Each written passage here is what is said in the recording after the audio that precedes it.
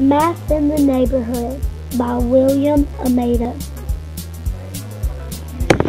Dad is taking me to Tommy's house for lunch. Tommy lives in our neighborhood.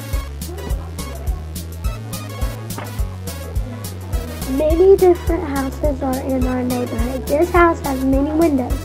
How many windows does it have? This house has five windows.